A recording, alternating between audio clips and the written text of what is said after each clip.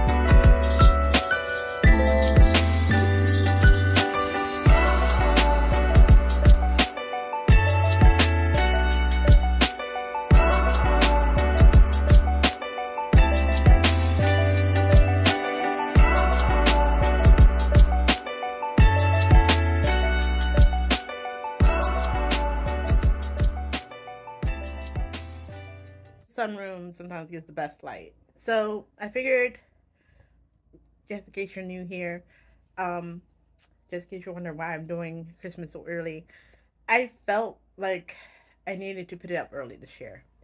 Um, Amethyst is not my only child. Um, she's my only alive child. Um, her sister, um, Avalon, um, passed uh, at full term um, and then a few months later, I became pregnant, and Amethyst was born at the beginning of 2020. My daughter Avalon's birthday is is Christmas Eve, so um, I don't know. This year, I felt like I needed to. I needed to have her. I needed to put that tree up early. So I hope you're enjoying all my rare and unique ornaments that I find. I'm telling you, Dollar General, don't sleep on Dollar General and don't sleep on the dollar store because Dollar Tree be having some really cute ornaments that are like, you know, only um, African American. I think I saw an Asian one in there at one time, and I was just like, wow, that's unique. So I'm telling you, if you're ever curious about where I'm getting my ornaments, they are Dollar Tree and Dollar General. Um, the Hello Kitty ones are all from my best friend who kept giving them to me every year. Um, and I have a cute one that I was just about to put up, but then I got hungry. Um, that's this one. She's really heavy. I actually got this one at um, Rite Aid myself, but my Rite Aid is about to close because you know they can claim bankruptcy. So, ah,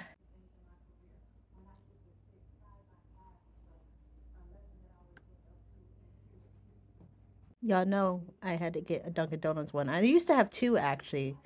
Um, the Dunkin' Donuts near me, I feel like doesn't do ornaments. I'm gonna check and see because sometimes you have to look behind the register during the Christmas season to see if they have one. This one is actually for Amethyst. Um, I took everything from her, my bracelet from the hospital to even her pacifier that she had. everything and put it in a globe. So if you do get see these globes, these are amazing. Um, sometimes they don't stick together well, so I do recommend like a glue or some tape. This one is Avalon's. Okay, so I think I'm I got just about all my ornaments up. I don't think there's any more, but now it's time to do lights. All right, so now we are working on the fireplace. I love that this has like a mantle. I found my Dunkin' Donuts one. It's gonna go on this table. I had this display last year on my um my dining room table, but this year I want to put it on um over here in this area. I'm sorry, such bad lighting. I know.